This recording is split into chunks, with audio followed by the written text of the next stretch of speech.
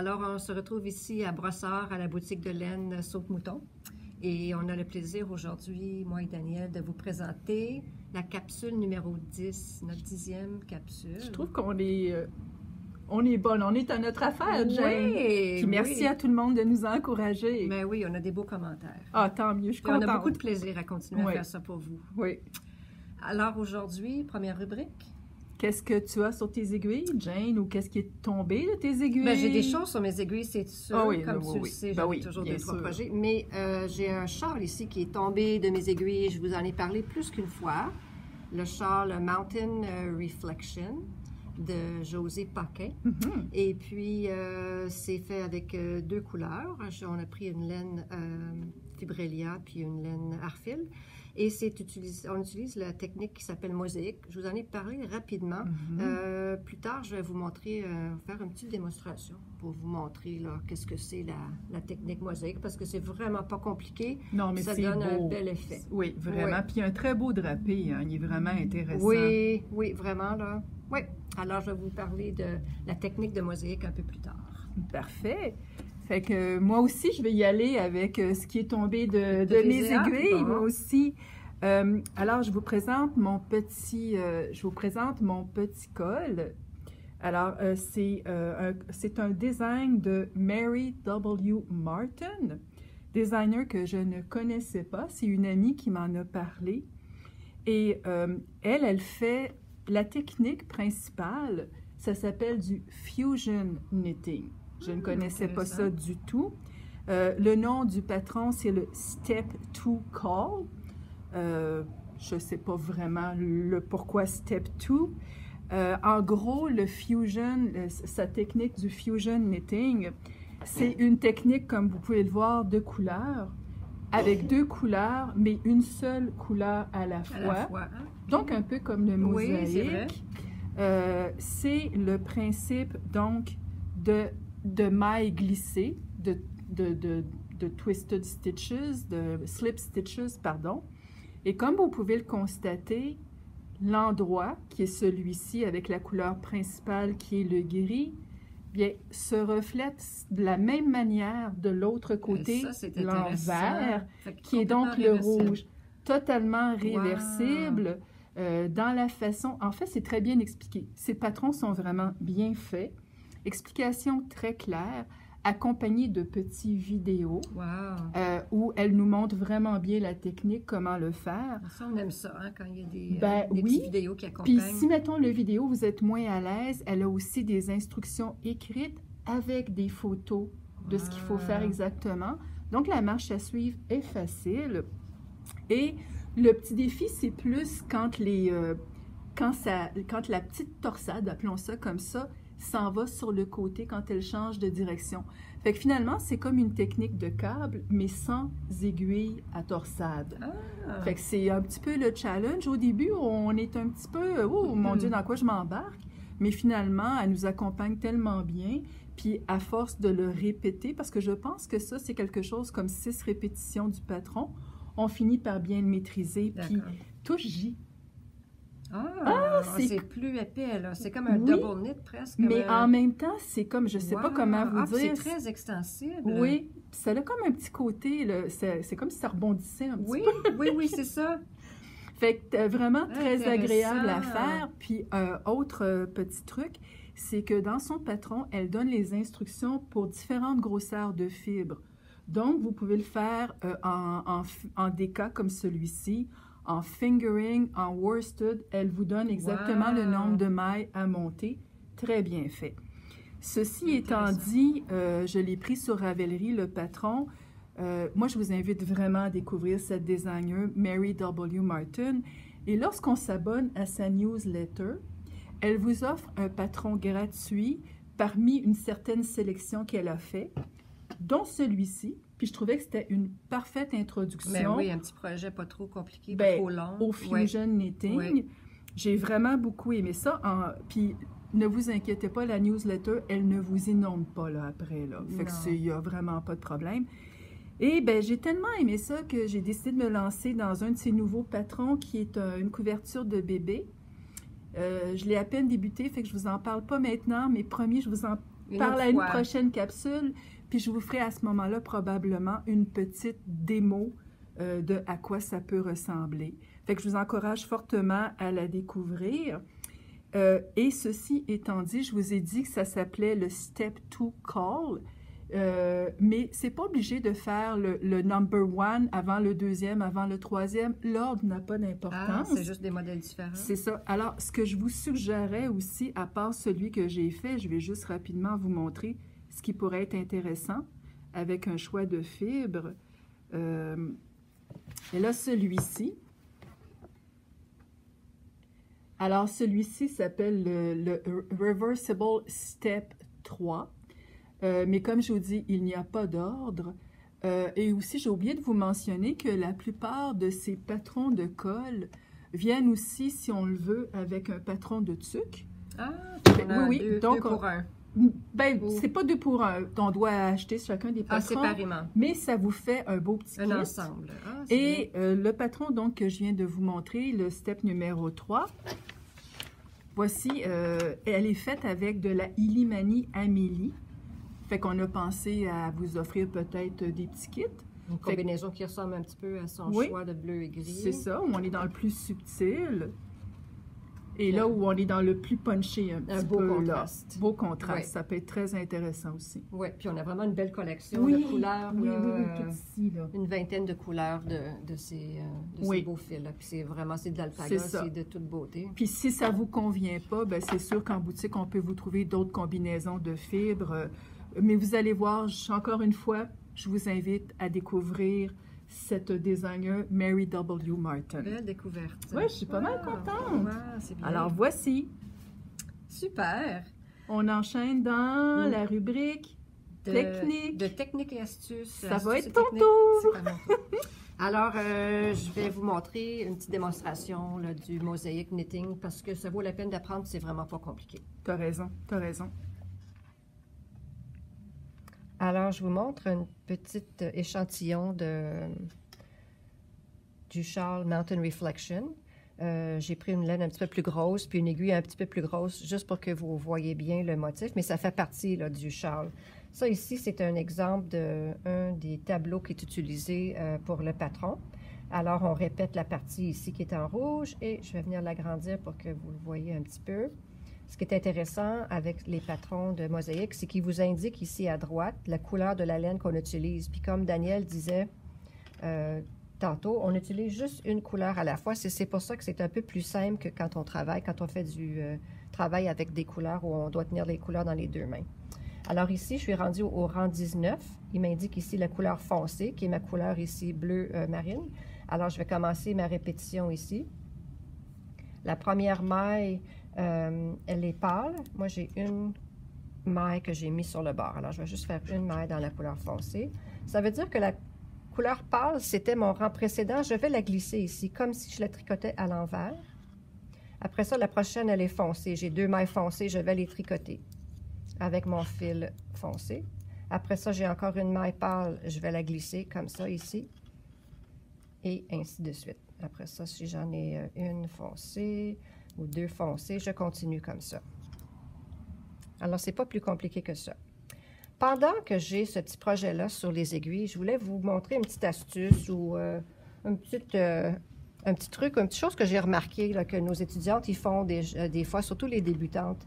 Quand on travaille avec des aiguilles, on voit ici qu'il y a une pointe qui est plus fine et il y a la tige ici qui est plus grosse. Il faut toujours se rappeler que l'aiguille droite qui vient piquer, il faut tricoter, passer ici le bout de la pointe. Des fois, on, est un peu tendu et on travaille sur la pointe de nos aiguilles, comme ça, on est tendu. Mais ce qui arrive après, c'est que ces deux petites mailles-là que je viens de tricoter sont trop petites. Et quand j'essaie de les glisser après, ça devient trop serré. Ma tension n'est pas bonne et ça fait une tension qui n'est pas égale. Alors, faites attention quand vous tricotez de toujours passer par-dessus cette petite c'est pas une bosse, mais par-dessus l'endroit où la pointe termine. Alors, on va aller tricoter un peu plus loin sur notre aiguille ici qui pique. Et là, on glisse. Si nos mailles rapprochent de la pointe de l'aiguille gauche, c'est pas grave parce que ces mailles-là sont déjà, ont déjà établi leur, euh, leur bonne grosseur. Mais c'est l'aiguille droite ici, c'est super important de vraiment les glisser un petit peu plus loin. Alors, c'est ça pour euh, ma petite astuce pour aujourd'hui. Euh, alors, pour ceux qui ont vu notre euh, avant-dernière capsule, qui était le numéro 9, dans lequel on vous parlait des couleurs, je vous avais mentionné qu'il existait un petit outil, en plus de la roue chromatique, il existait ce petit outil qui est Ultimate 3-in-1 Color Tool. Je vous avais mentionné que je l'avais commandé. Je l'ai reçu il y a peut-être une semaine. Malheureusement, je n'ai pas encore pris le temps d'aller à sa découverte parce que c'est assez exhaustif. Oui, c'est il y a beaucoup hein. de choses, beaucoup d'éléments euh, et il y a beaucoup d'explications. Fait que je, ce que je veux faire, c'est vraiment en prendre connaissance comme il faut et dans une prochaine capsule, être capable de vous en parler et de voir comment dans la boutique de laine, on peut l'utiliser. Oui, pour vous aider. pour nos travaux Ben d'aiguille. oui, pour vous aider à faire vos choix de couleurs. Fait que promis, je vous en reparle. Parfait. On n'oubliera pas celle-là. Et Et là, maintenant, découverte. Découverte!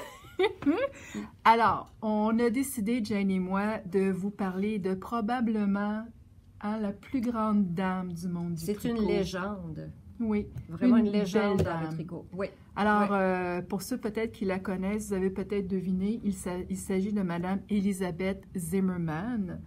Euh, vous en avez sûrement déjà entendu parler, vous allez avoir des références. Puis maintenant, vous avez une- entendu le nom, là, vous allez Oui. le voir partout. Puis, ce que je, je voudrais commencer la, la rubrique avant de vous la présenter un peu plus en détail par une phrase qu'elle-même a dit. Et je trouve ça tellement beau. Elle a dit Most people have an obsession. Mine is knitting. Donc, en français, la plupart des gens ont une obsession. La mienne est le tricot. Et ce qu'elle dit, puis ça me fait tellement plaisir d'entendre ça, je me sens moins toute seule sur ma planète. Tout ce qu'elle voit autour d'elle, elle pense tricot. Ah oui. Puis, euh, pour mieux vous expliquer qui elle est, Jane va Ah vous oui. lire euh, un petit extrait d'un de ses livres qui est très connu, Knitting Without Tears. Vous allez voir, l'extrait que Jane va lire, ça vous décrit vraiment quelle belle personne elle était. Alors, knitting without tears. Properly practiced, knitting soothes the troubled spirit, and it doesn't hurt the untroubled spirit either. when I say properly practiced, I mean executed in a relaxed manner, mm-hmm. without anxiety, strain, or tension, but with confidence, inventiveness, pleasure, and ultimate pride. If you hate to knit, why, bless you, don't. Just don't. Follow your secret heart and take up something else. But if you start out knitting with enjoyment, you will probably continue in this pleasant path. Alors, en gros, elle dit euh, quand on tricote comme il faut, dans une manière euh, relaxe, sans, sans anxiété, Comme ça devrait sans être. tension, euh, ça va très bien. Mais si vous vous sentez tendu puis vous aimez pas ça, ben, Faites d'autres choses? vélo, C'est faites d'autres choses. Faites d'autres choses. Ouais, ouais. Ah, C'est vraiment elle, hein? Ah oui, oui, c'était Ouais. vraiment quelqu'un d'extraordinaire. Ouais. Fait que euh, je vais rapidement vous résumer donc la philosophie euh, de cette euh, dame qui était Elisabeth Zimmerman. Alors, c'est vraiment en gros, quand vous tricotez, là, elle vous le dit un peu, avoir du plaisir, avoir de la satisfaction, avoir de la gratification pour ce que vous faites. Euh, elle insiste beaucoup sur être créatif. En anglais, on dit to think outside the box. Mhm. Elle insiste beaucoup là-dessus. Euh, L'autre chose que j'ai trouvé intéressante, c'est qu'elle dit ayez des ressources, trouvez les moyens de faire les choses, regardez autour de vous, puis ayez toujours confiance. Mhm. L'autre aspect euh, intéressant aussi, c'est être économe. Ah, Alors, être économe en temps, parce que le temps c'est précieux, oui. être économe ben, dans le matériel, la fibre, ça coûte cher, il faut en prendre soin. Mhm. Euh, fait que pour elle, c'était des choses bien importantes. Qu'elle a mis vraiment en pratique quand elle a développé euh, Mhm. euh, sa passion. euh, elle essayait toujours de trouver des façons un peu plus rapides, de trouver des façons. euh, Tout ouais. à fait, ouais. exactement. Il l'appelait, en fait, il y a du monde qui, les a- qui l'appelait par ses initiales. EZ, en anglais, Easy? c'est easy. Ah, Ah! OK, easy. Easy, c'était ça. C'est bon, je ne savais pas ça. oui. C'est vraiment intéressant. Euh, alors, sa devise, finalement, je pense que vous avez compris, c'est tricotons avec confiance et avec espoir. Mhm. C'est vraiment ça. Alors, on peut enfin vous dire qui est Oui. Elizabeth Zimmerman. Alors, elle est née en Angleterre en 1910 et elle est morte aux États-Unis en 1999. Elle avait donc 89 ans. Oui, vous allez me dire, ça fait déjà une vingtaine d'années. Malgré ça, là, vraiment, elle a établi des choses qu'on ne pourra jamais oublier. Ah oui. Plusieurs designers font le travail qu'elles font Mhm. parce qu'elle a établi des bases. Révolutionner vraiment le, Tout à le fait, tricot. exactement. Pour le rendre euh, euh, Plus accessible, à tous. intéressant Ouais, aussi, ouais. innovateur Ouais. et tout ça. Euh, elle a séjourné quelques... Enfin, elle, elle n'est pas... Elle est née en Angleterre, mais elle n'y est pas restée de, de nombreuses années. Elle a séjourné aussi en Allemagne, et vous allez comprendre pourquoi un petit peu plus tard c'est important que je vous dise ça. Elle a immigré aux États-Unis, soit au Wisconsin, avec son mari en 1937, donc à l'âge de 27 ans. Et comme je vous dis, c'est important. Ces trois pays-là sont importants dans son cheminement. Lorsqu'elle est arrivée aux États-Unis, elle a fondé une maison de publication avec son Mm. mari, une maison qui s'appelle Schoolhouse Press. La maison de publication existe encore, cependant, en ce moment, actuellement, c'est sa fille Meg Swanson, assistée de son fils, qui la dirige. Mhm. Euh, cette euh, maison de publication est principalement dédiée à de la vente de, en- par Internet, de la vente de livres reliés au tricot, de la vente de matériel et de la vente de laine. Mais vous allez trouver des publications extrêmement intéressantes que parfois on ne retrouve pas ailleurs. Et il y a des patrons aussi. Parce, parce que sa fille a tricoté aussi. Oui. Elle a appris à un très jeune âge. Oui, en fait, tout à à fait. tricoter, hein. J'ai une photo oui. de, de Meg avec sa maman euh, ici. On voit qu'elle était très jeune quand elle a appris à, à tricoter. C'est Meg Swanson, c'est une personne très intéressante Aussi. qui elle-même designer intéressante Oui. à découvrir. Oui. Alors, donc, je vous disais, pour expliquer le parcours d'Elizabeth Zimmerman, c'est intéressant. Elle est née en Angleterre. Et lorsqu'elle habitait en Angleterre à cette époque-là, comme je vous ai dit, elle est née en 1910, le tricot, c'était quelque chose de familial, quelque chose de communautaire. Donc, on apprenait à tricoter avec la famille, avec l'entourage immédiat, avec les amis. Et donc, c'était eux aussi qui nous aidaient, qui nous offraient du support lorsqu'on avait des difficultés. Mhm. Ensuite, elle quitte pour l'Allemagne avec sa famille. Autre univers.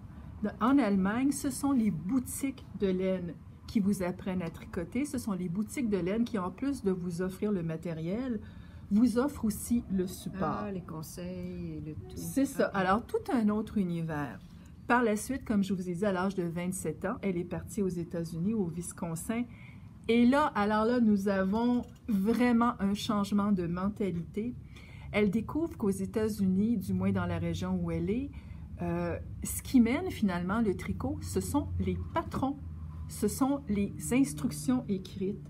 Et vous ne devez pas déroger Ah, des ben non, instructions écrites. faut suivre ça. Alors, Le patron, c'est ça, et le patron, il se fait comme ça. On n'en discute pas, c'est ça qu'on fait.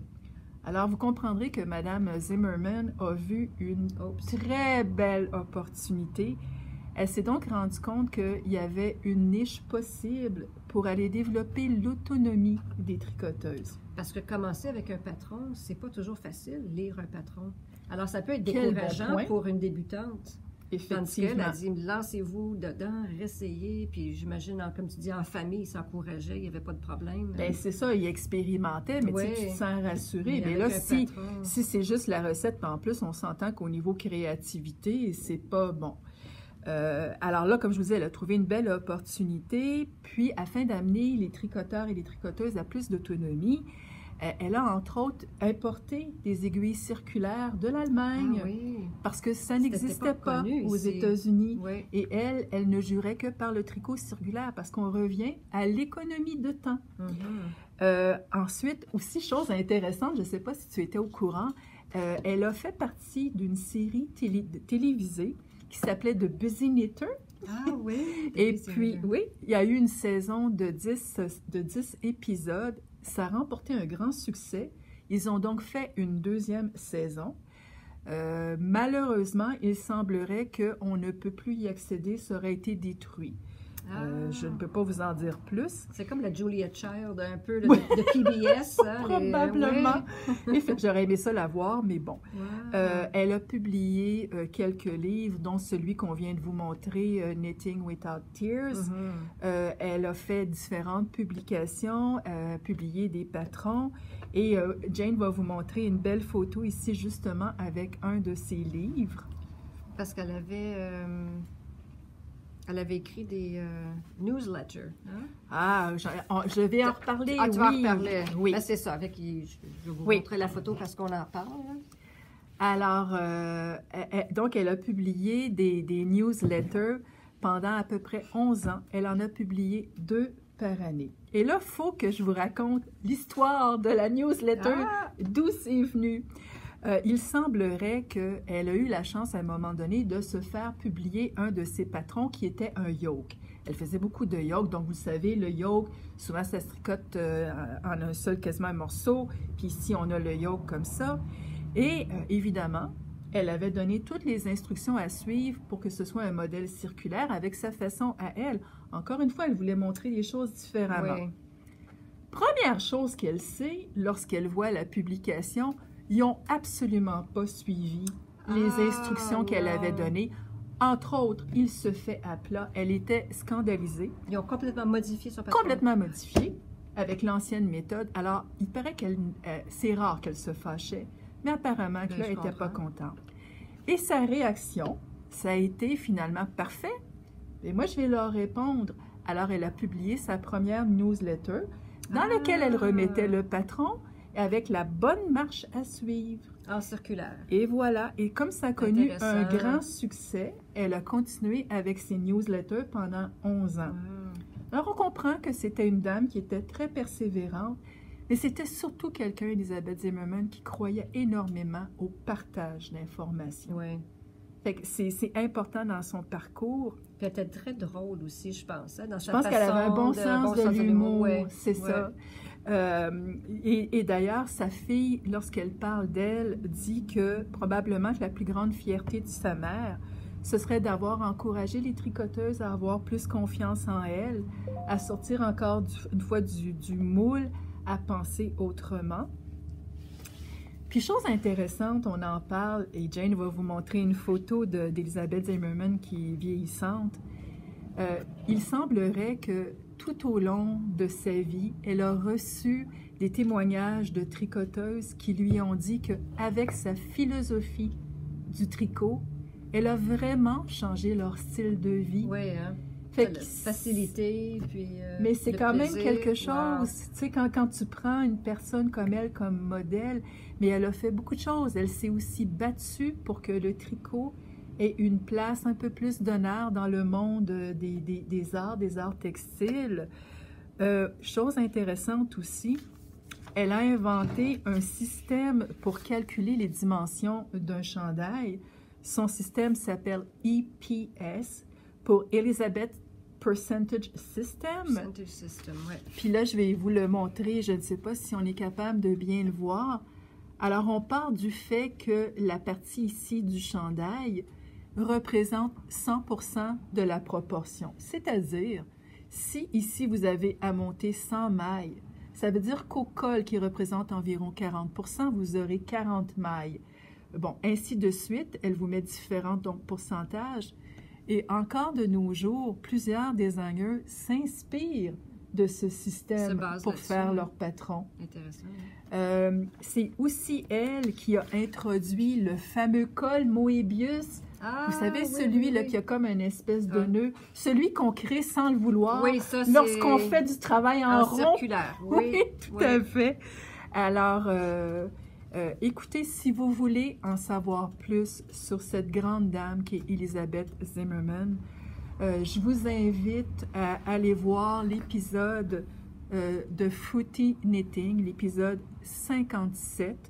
Euh, C'est une entrevue avec sa fille Meg Swanson. Mhm.